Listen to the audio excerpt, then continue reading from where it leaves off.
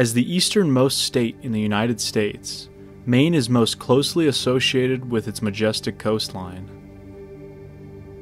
A beautiful landscape, dotted with lighthouses, picturesque rocky cliffs where the waves crash, and quaint New England towns filled with fresh seafood like lobster. When one moves away from the coast, what is found inland and to the north is something quite different.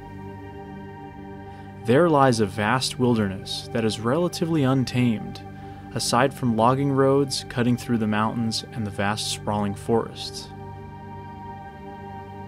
Maine's unofficial state motto is Vacation Land, but it is officially called the Pine Tree State, and for good reason. Maine is the most forested state in the entire United States, at 90% forested.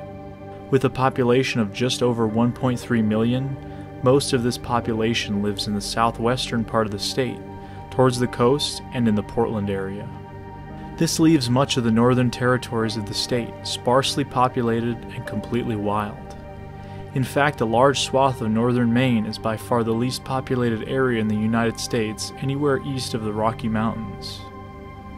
While lacking in human population, these woodlands are populated with fauna both large and small. There is up to an estimated 36,000 black bears residing in Maine. The state's moose population is the largest in the United States outside of Alaska, with an estimated 75,000 eastern moose. Ample resources allow these huge animals to thrive relatively undisturbed, which then brings us to the question at hand Sasquatch. Maine has long been overlooked when it comes to this topic, but in recent years, more reports have emerged and a rich history of older stories have been brought forward. Bigfoot in Maine is probably one of the state's biggest secrets up until this point. Um, I think until until finding Bigfoot showed up a few years ago to talk to people about it, most people didn't think about it. But as soon as you start talking to people about it, you find that there are actually a fair number of people sprinkled through the population who have had encounters that don't match any of the large mammals that are in, endemic to the state. This last year, I've heard more reports than than I have in, in 20 years. I mean, you've gone from like pulling teeth with people to people. I mean, I can't keep up with emails and texts and. I mean, just like identifying footprints, or, or they want to tell me either their story or their relative's story we get a lot of that. I mean, it's a lot of the oral reports. The thing that about Maine that, that's appealing, let's say, to Sasquatch, is it's very wooded. It goes right on up into Quebec and a little bit into New Hampshire and Vermont. It's so much so that if you have occasional reports of Bigfoot and Sasquatch, it's not really seen as too abnormal uh, because the woods are dark and deep, as they say, and there seems to be something in there besides the mystery cats and the giant snakes and the other things that we hear about. There's Bigfoot reports. I think Maine has uh, has obviously a lot of unsettled territory or sparsely settled territory. It has lots of great food sources, both flora and fauna. It has tons of water sources, which is a major issue, and uh, ground cover. In some ways, Maine has always been a wilderness frontier. From the days of the Native Americans, to the colonial days and the beginnings of the logging and timber industry as far back as 1634, to the long history of hunting, fishing, and trapping in the state, there has always been humans utilizing this land and traversing it. In that time, there have been quite a few strange stories floating around regarding what we today might refer to as Bigfoot like. Well, I think that traditionally, if you look at the older cases of Bigfoot and Sasquatch, you'll find a whole native and first person's lore that is really encompassed in what we call Wendigo.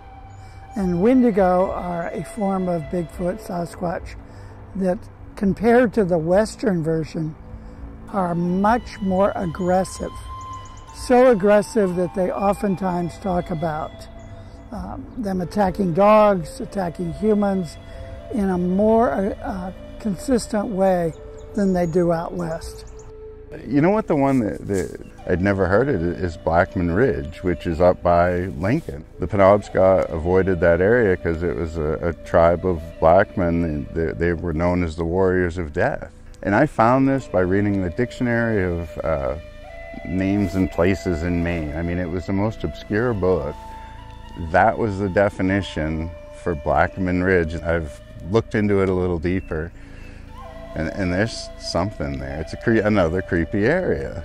It's, it's one of those things where the Penobscots and many natives, like unfortunately, I feel like their histories were, were kind of stamped out. I was told a long time ago that's where the secret was. You pay attention to the natives, and you know what? They've been here all along, but we just ignore it.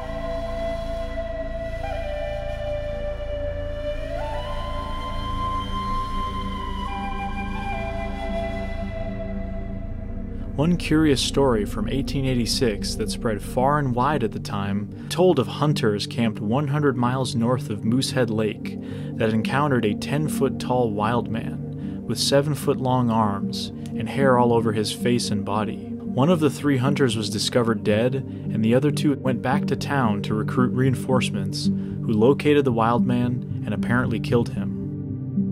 The story circulated at the time, but nothing definitive ever originated from this wild tale. Back in the um, late 1800s, there was actually one of the first sightings reported in Maine was done in Waldoboro. That's my hometown, where a gentleman supposedly actually caught a juvenile one. I've seen the old newspaper articles, I've got the name, so I need to get to the town office and see if I can talk to somebody and find out if there's any relatives that I can speak to that might have more information on this story because it's one that I find a little odd at times, but kind of neat too at the same time. So it's just, yeah, that one stands out to me a lot.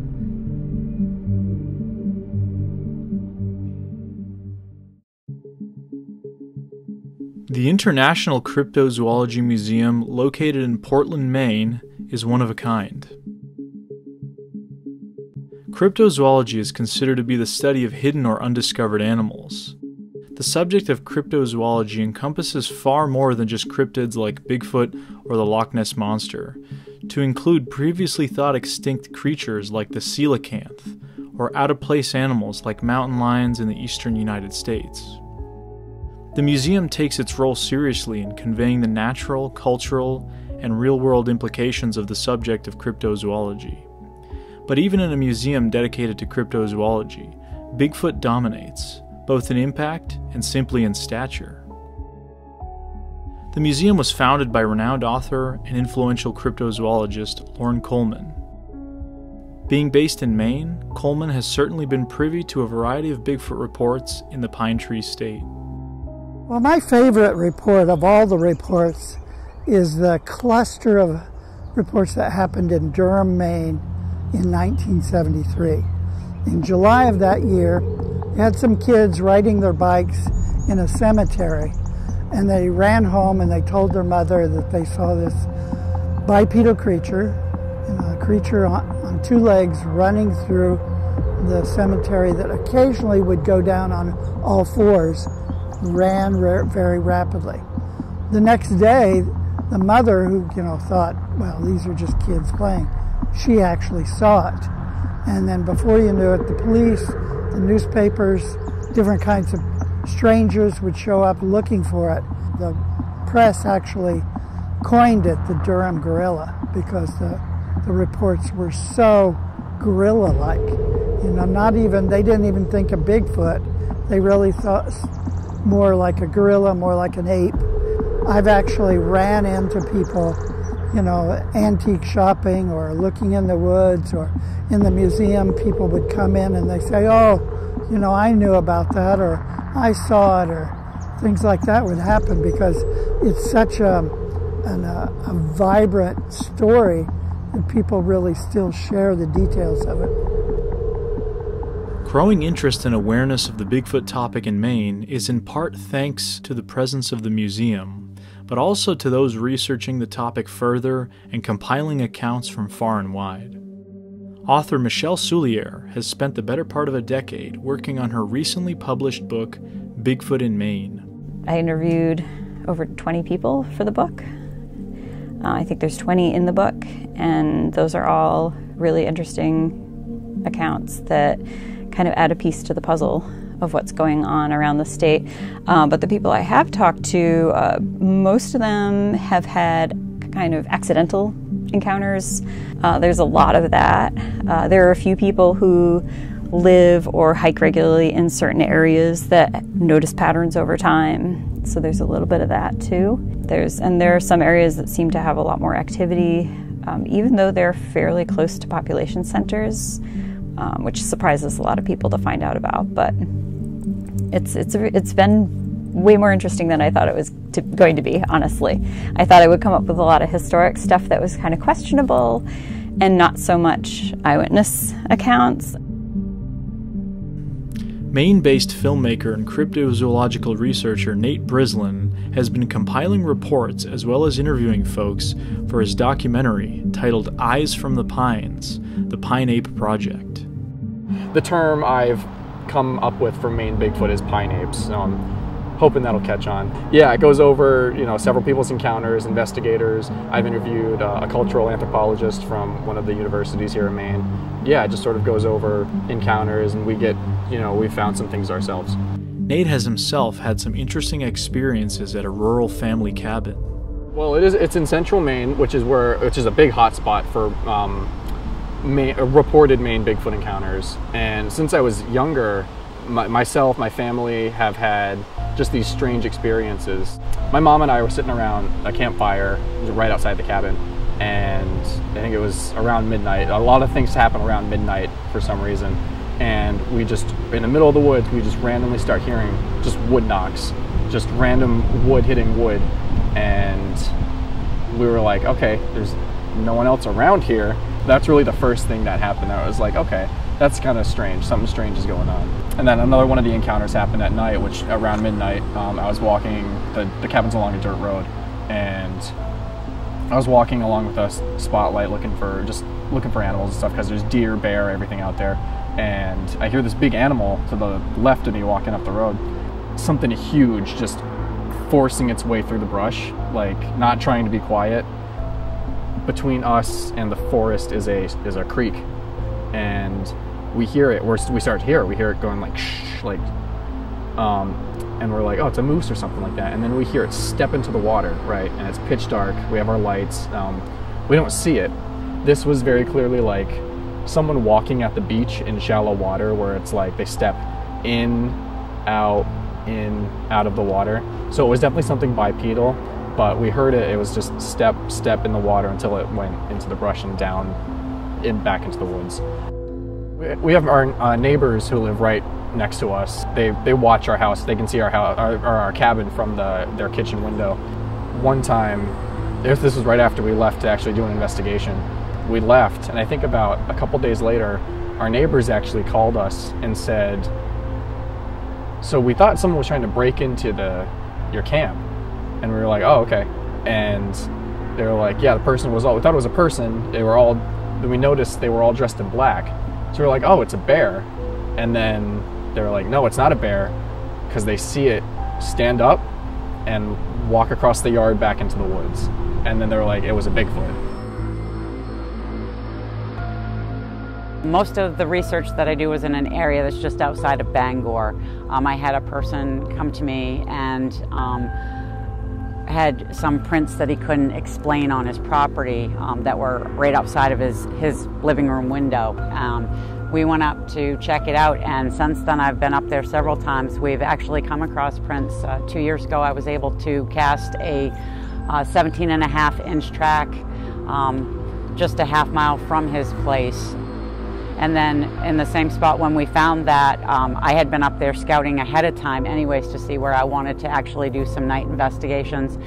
And in that area, we, we come across a tree bend. Two weeks prior to that, that tree bend wasn't there, and I kind of took a, a, video recording of it. But Um, besides that 17 and a, the 17 and a half inch tracks that we found, we also found 15 inch tracks that um, were like three inches into the ground, which we thought was kind of like phenomenal for the area it was at. Even explaining it to the gentleman that, that I, I researched for, it's I can't explain it. I didn't see what did it, but it's it's pretty cool to find, you know, it's evidence like that. When I was in high school, I actually had a, a run in with something large, but that's where I got the facial description that I've stuck on to. I mean, I saw enough where I, I don't question. Um, and for years, I, I was trying to prove it and prove it to everybody. Not even so much prove it to myself, but I stopped doing that now. Now I just I more just track them. It's like I know they're here. I know what time of the year they're in a basic area. I, have been doing it long enough where that's what I got, and I watch. And every year, they confirm in one form or another. Whether I find tracks, hear about tracks, I can almost pick it. You know, I mean, and you guys are going to the sweet spot. Like, there's no question. With such a rich backdrop of sightings and history in Maine, it only felt right to head into the wilderness of the state and see what we could find. I teamed up with fellow cryptid researchers and filmmakers, Eli Watson and Carrick St. Laurent. We took some advice from one of my favorite researchers, Doug Hajicek. All right, so uh, we're on the phone now with Doug a very respected a man in the world of cryptozoology, has done a lot of really interesting stuff. Monster Quest, uh, to say the least, I've been involved in a lot of Bigfoot research. So we figured it would be appropriate to, to talk to Doug. So, Doug, we're heading up to the wilderness of northern Maine looking for Sasquatch. Uh, do you have any tips or recommendations for us? Oh God, yes. Um, so, as you guys know, very unlikely you're going to be able to sneak up on a Bigfoot. And so it's far more likely that they're going to, you know, they're going to come to you guys. Right. I hear this over and over, Alex, where people are, you know, they're in their tent. It's two, three in the morning, and they they hear a wood knock, you know, near their camp, and then they hear, you know, walking in their camp, and they're really kind of at a disadvantage because, you know, they're not going to be able to go over and unzip the tent. You know, you're going to make a bunch of noise. Whatever's out there is going to flee. And so, to me, one of the things I've always wanted to try personally, and I haven't done it even yet, some surveillance cameras um, and have a monitor inside the tent that you can, you know, keep under a sleeping bag so they don't see any ambient light. Right. Um, and you can then monitor what's going on out there and even have the, the possibility of recording. Is that some gear that you might have, some surveillance cameras? Yeah, yeah, I think what we we can try that. We can maybe get some kind of a, a home surveillance system and see if we can rig something up. Yeah. I have I have one more suggestion, and that's when you get into your camp, you set up your camp. Um, before you retire, maybe do you know one or two wood knocks. Don't do any screaming. It's really been proven to me that um, there is a huge difference between a Bigfoot vocal and a human vocal. Mm. And to me, maybe doing a couple of wood knocks before you guys retire, and that's it. Right. And you know, the, the really good, solid, hollow baseball bat sounding wood knocks. Mm and that's always worked for me. And uh, usually we've had activity almost in a case because that sound carries, you know, it's basically a calling card. Yep, right, right. So that's my last suggestion. No screaming, just do uh, one or two wood knocks. Sounds good. Yeah. Thank you, Doug. Hey guys, well, have a have a great trip. Stay safe. Yeah, thank you. We will let you know if anything does or doesn't happen. You'll be the first to know. Okay, sounds good. Talk later. All right, thanks, Doug.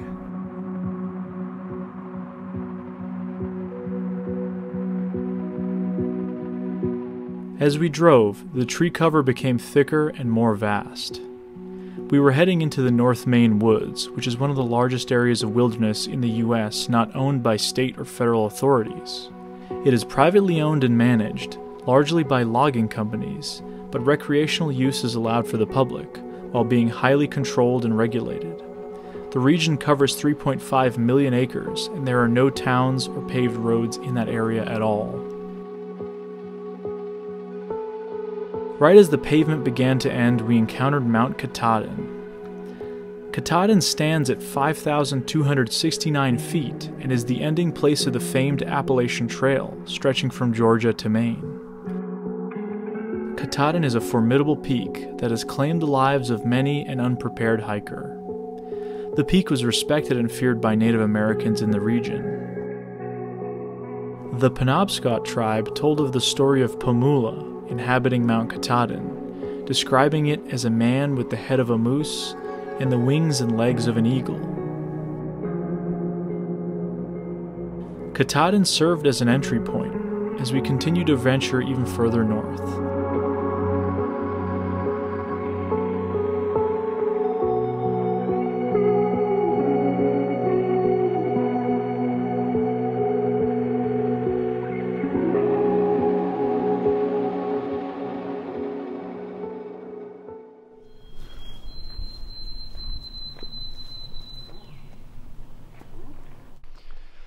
So this is the spot that we pulled up into last night just to camp. We've got about another hour, hour and a half up to the actual site where we want to stay for the next few days. But it got pretty late as we were driving up through here, so we decided to just pull off into here and just stay in this area.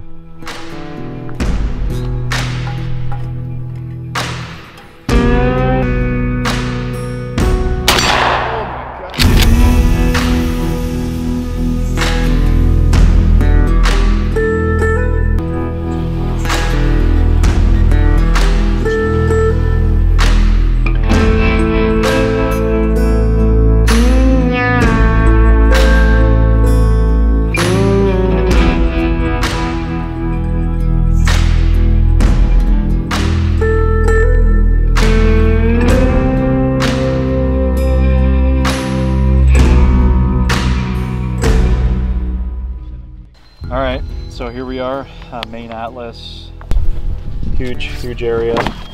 Right now we are near Baxter State Park, so we got Mount Katahdin right here. We are in this, we're gonna be heading up about an hour or two north into 55 or 56, so this area up here. This whole area, the whole county, I mean, it's the size of the state of Connecticut. It has a population of 17,000. Frontier, so about 50. All right, so there's Mount Katahdin. We drove around here. We're somewhere in this area right now, so we're just gonna keep going north. We're gonna go into Telos checkpoint for the North Maine Woods. We got our map of the North Maine Woods here. Least populated area in the entire East Coast. So there's the checkpoint. We drive in. We have this whole area to play with. We got the Canadian border right up here. Aroostook County, which is the largest county in Maine, I believe. But uh, a lot of different spots to choose from. There's some primitive campsites all along in there. We're gonna pick uh, one that's close to a water source. We got a lot of water in here, so I think that should be pretty interesting. This is around the area last year where I was camping and had some moose run through my camp at six in the morning. But let's just be uh, just be ready. Keep your eyes peeled for moose, bear, anything. Let's see what else we can do. So let's do it.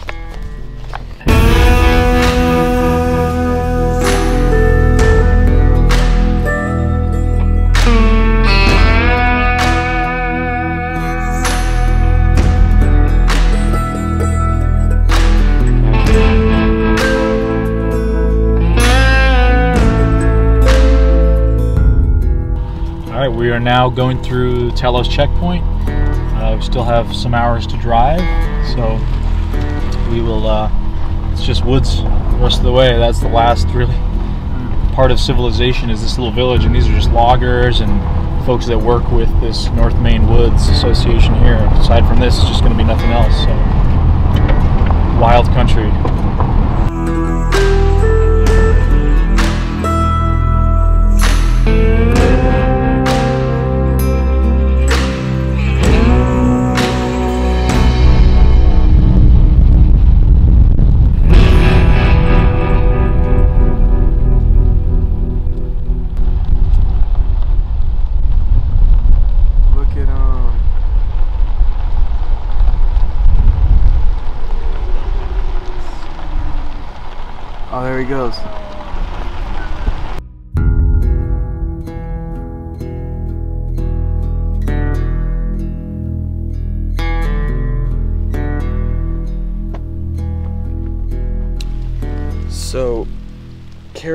And Alex uh, left to investigate another possible location that we could stay at. Uh, Alex, due to the dark skies, asked me if I wanted a rain poncho.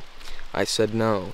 Now here I am, without a jacket, without a poncho, and it's raining. I had to place all the camera equipment underneath the table, this picnic table here.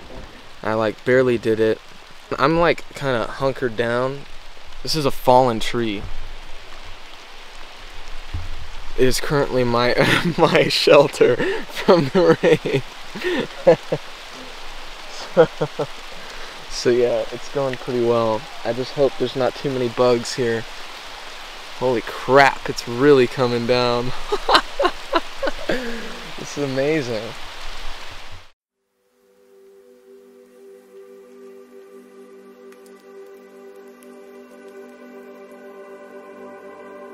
We had to set up our tent and everything in a rush because it was raining, but we are here at the campsite.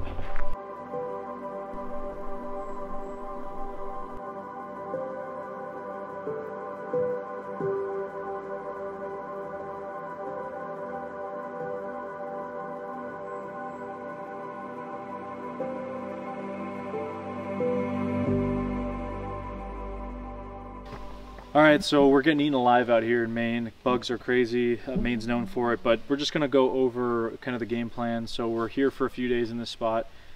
All right, let's just talk about equipment and gear real quick. We've got all kinds of drones, obviously cameras, trail cameras. That's mostly gonna be for other wildlife. I mean, we're gonna put that up, see if we have moose. We have moose scat right in camp. We've seen moose to bear Mhm. already. We have uh, just little flags from Emily of the Forest Fleur. These will be in case we find anything of interest we want to cast later. We obviously have casting material, um, fleurs. Carrick, what, what's with this? Right, so what we have here is a live spectrogram system. It's just an app that you can get for your phone or your Chromebook, and it records audio in real time, plays it on the screen as a spectrogram, shows you the frequency have, you know sounds are happening at. So it'll be really useful for control center listening for sounds around us tonight. So the main thing that we're looking at here is this whole CCTV system. So it's going to allow us to uh, kind of look outside of the tent while we're inside of it and kind of monitor the situation. We have uh, Alex here rigged up this. Uh, recommendation from Doug Hajicek was just kind of hide one of the cameras inside of a, uh, this is a Doritos bag, just some like trash. So we're going to disguise all of these cameras.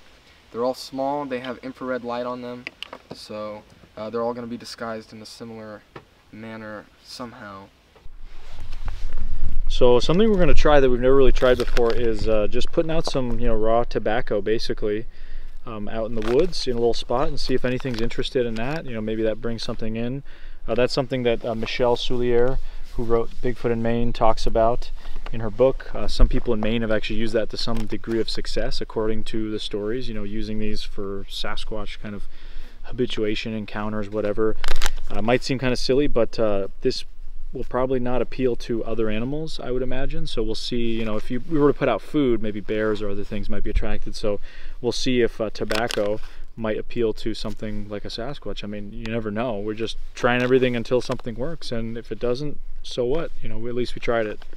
So what we have here are some blueberries that we picked up from a local grocery store. They're unfrozen, so they're at least relatively fresh smelling, which is the important part of the scent. Because what we're going to do is cut open some of these blueberries, leave some whole, and we're going to mix them in and put some on top of a puddle. What will happen is, let's say something caught a whiff of those opened up blueberries and wanted to pick out a few. And let's say that thing had a hand. Even if a deer comes through, it might leave a nose impression. There's plenty of ways that you can capture something eating or picking up something. And of, of course, our hope is that if there are Sasquatch in this area, they might come by, be tempted by the smell of blueberries, and pick one up, leaving some fingerprint evidence. In Maine alone, plenty of the sightings fall within the ranges where Maine grows the most blueberries. There's actually a map that I, I have that demonstrates that and it's it's one of the kind of major calling cards that we're noticing in northern Sasquatch sightings is the presence of alleged Sasquatch near blueberry patches. So hopefully these blueberries are a tempting enough offer for anything in the area.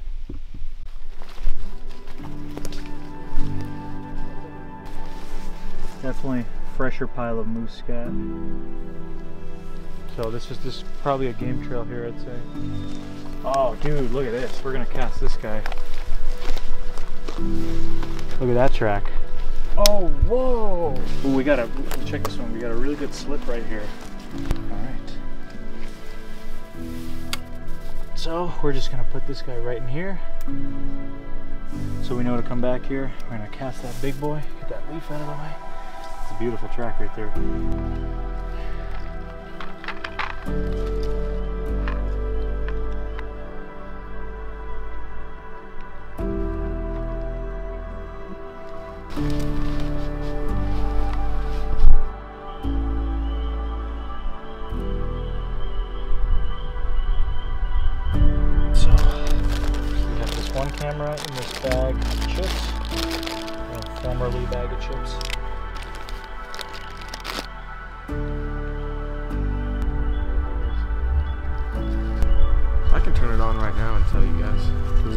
Quick test? Let's Yeah. do it.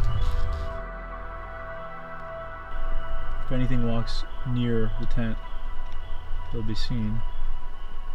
Yeah, there you so go. there he goes. He's gonna pop up over here in a minute. Yep. Okay, and then he'll pop up on the other one. We can see him again right there. Boom, right there. Oh, that's excellent. And then that? watch. No, keep going. Keep just going. just come all the way around and come back in. Yeah, there you go. Look at that. Watching the wire really quick.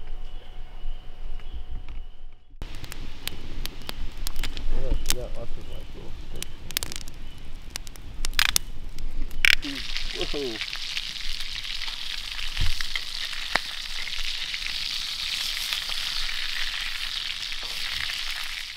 okay. You want? Do you want to sit on this one?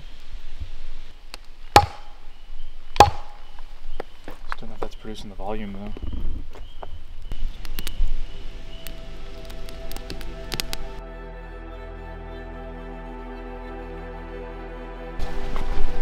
So we're getting rained out here. Already soaking wet. Yeah, how does it feel, Eli? Are you filming this? Yeah. I'm trying to get my jacket out of the rain. Trying to get his jacket out of the rain. Go for it, buddy. It's uh, yeah. Give me a sec. Yeah, so we got completely rained out. First night in this spot. It's starting to calm down a little bit now. We have the whole camera system set up, so I think we're going to fire that up.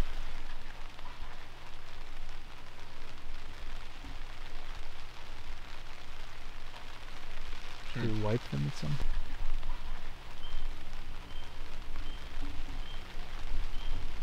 Just hanging out, monitoring the camera setup.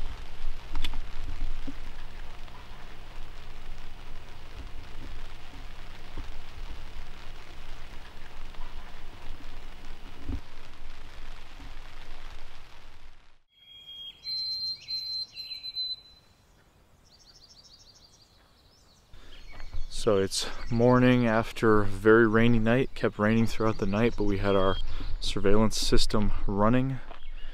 Uh, but right now it's pretty overcast day. Not too not too rainy, so that's good. right part of his face. Emerges as supposedly the first.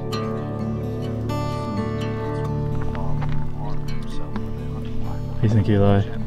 I'm gonna be eating pancakes with a spoon. Whatever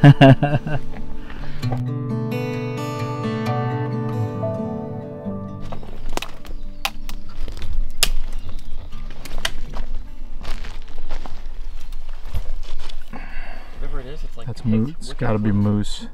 Moose, you think so? Yeah, dude, that's huge.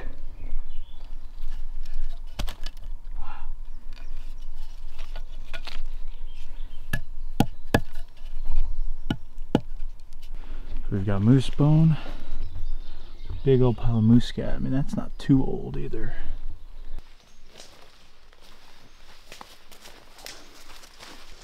making our way downtown.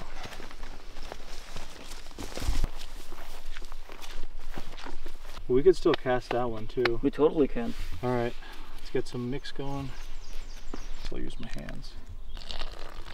We can use a stick. Might need more water. That looks like a really good consistency, actually. Feels pretty good. I'm just trying to make sure I get rid of the clumps, you know.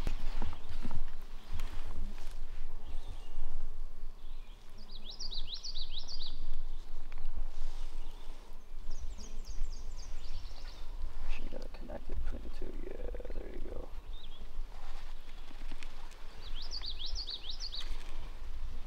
Perfect. That's good. It's a rock.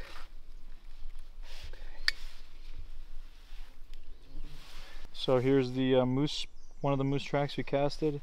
Came out really well. Obviously, there's a lot of stuff we gotta clean and let it kind of keep drying, but pretty big moose. So it's probably a, a back leg, hind uh, hind hoof that kind of splayed a little bit. 'cause you see this, the front ones are seem to be smaller and tighter. So there's a little bit splay, and you can really see them. And I can stick a whole finger in there. So pretty cool to see. All right, well, we're about to head out now. We're gonna hike up to the uh, top of a mountain nearby. So just get, let's get our walkies in order. Channel six on both. Do you copy? Do you copy? Yes, I do. Perfect. This this will stay with Carrick. So Carrick, you're gonna be in camp. We're uh, just gonna hike up, kind of see what's going on in the area, see what we can or can't find. So, yeah, let's uh, let's get to it.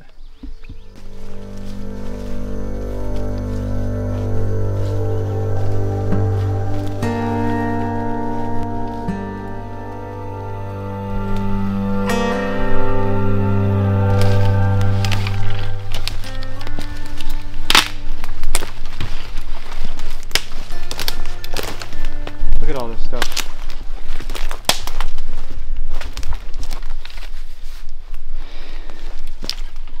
So check out all this stuff. I mean, this is another one of those situations where I'll go stand in there. Yeah, go in there.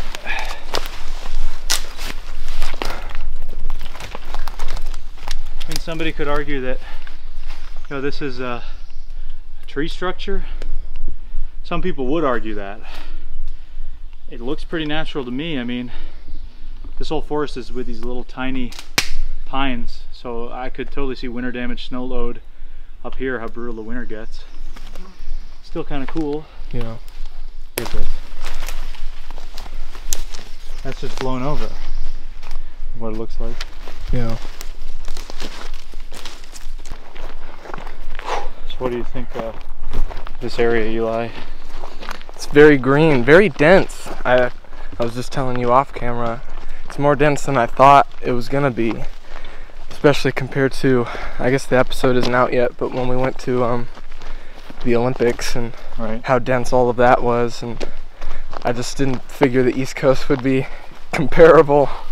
rough man getting through some of those areas you see the moose just kind of bulldozing straight through Yeah, no kidding, man.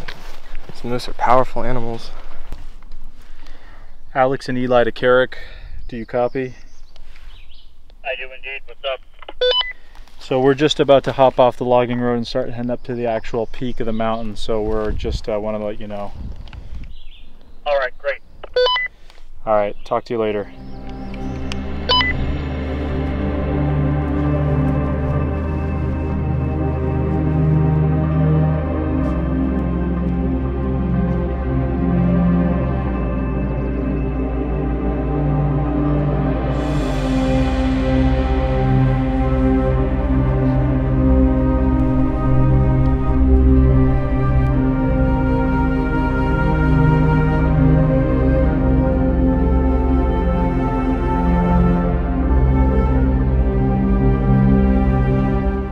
bushwhack up the mountain was brutal and tiring and took us quite a while, especially given the heat. It became evident how tough getting through the underbrush was and how much of a disadvantage we as humans were compared to the other creatures in the area. A large animal could easily be hiding just mere feet from us in the brush, and we would have absolutely no idea. During our hike, we came across so much moose sign, whether it be tracks or scat, that it was actually incredible to know how many of these large and formidable creatures were all around us. We also came upon plenty of black bear sign, as well as the presence of other wildlife. This area, like the millions of acres around it, was teeming with life.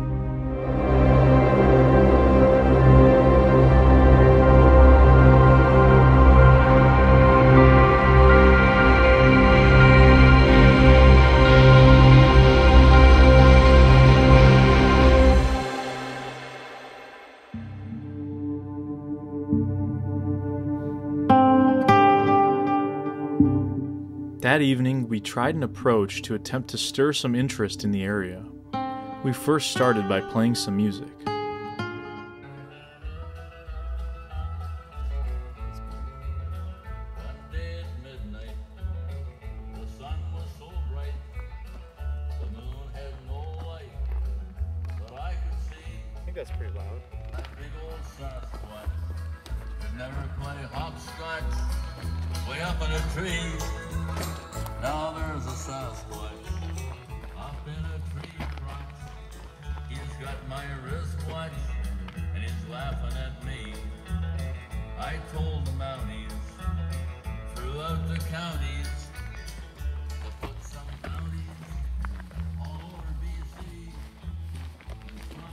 I would then deploy onto the pond via kayak, sitting mostly silently and scanning with a FLIR unit, but then also playing the sounds of a human baby crying.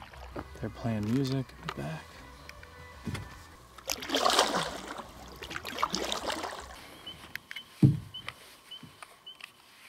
Okay, you guys ready for baby sounds? One second here. Can't worry, just go for it.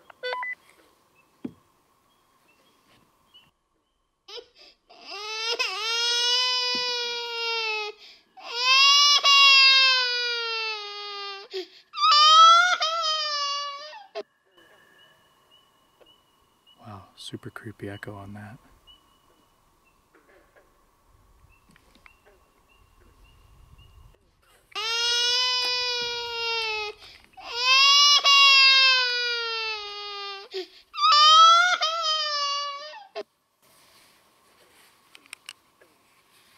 How does that sound on your end, guys? Sounds really good, dude. I can hear it pretty clearly from here, actually. Yeah, I mean, it's like uh, echoing over here in the lake, so I'm gonna keep doing it.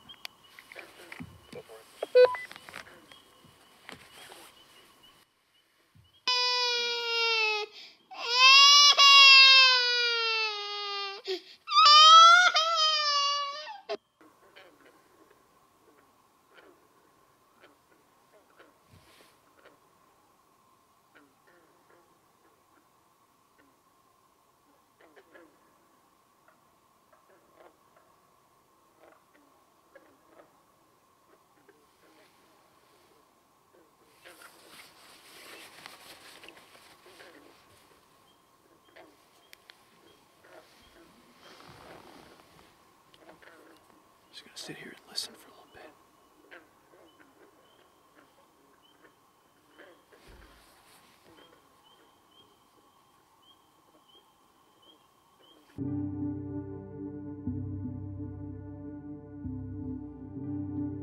Did you guys just break like a stick, campfire stick? Not at all. No, all we're hearing over here are bullfrogs. Are you guys by the shore by any chance, or where are you at? At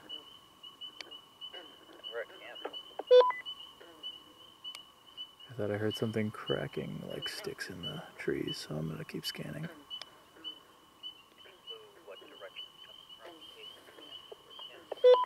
Sounded semi near you guys. That's what I was wondering if it was you guys cracking something.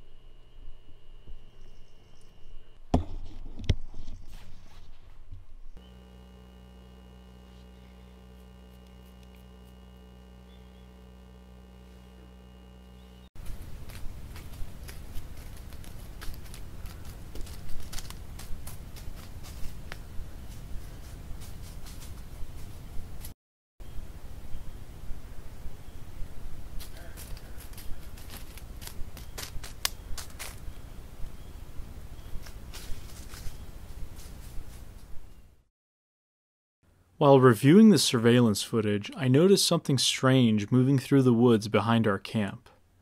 While it appears to be a moose, whatever it is, it is quite large. Sadly, the video quality at that distance doesn't do us any favors.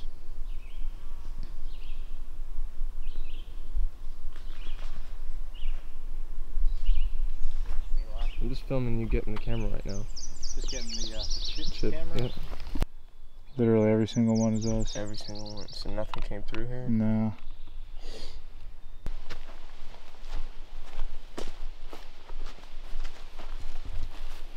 Those look pretty untouched.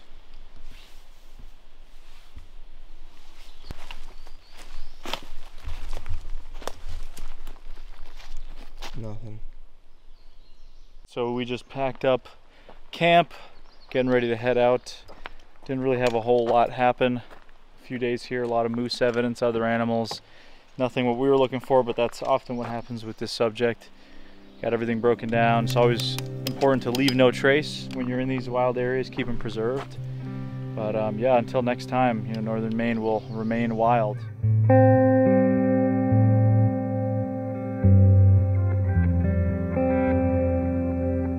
I think we were driving for like five, six hours alone in Maine.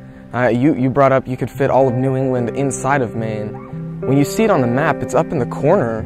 You're not really thinking like it's just off to the side almost. Because when I'm picturing the East Coast, anything on the East Coast, I'm picturing completely like urban or suburban. You know, I'm not picturing anything remotely as wild as what's on the West. It's like comparable to the Pacific Northwest, honestly. People, I think, fail to make the correlation between how remote northern New England is and places like the Pacific Northwest. It's a different kind of terrain, but only in slight variations, really. And we have a very, very long history of, of sightings in Maine.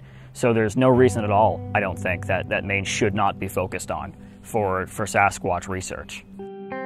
While some will inevitably be angered by the lack of alleged Bigfoot evidence presented in this film, my hope is that by showing the natural beauty of a state like Maine, as well as highlighting the valiant efforts of researchers and enthusiasts alike in sharing their stories, that it will foster an atmosphere where more people are open to sharing their encounters without the fear of ridicule or stigma being attached. Well, I, I think that Mainers are rugged individualists. That they don't want to be told what they should and shouldn't believe. They don't want to be told what they saw or didn't see. They don't want to be told how to think.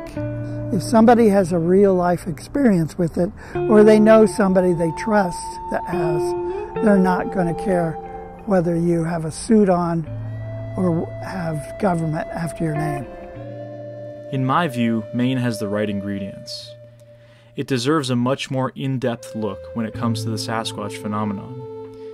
It seems to be the most underrated place when it comes to the topic.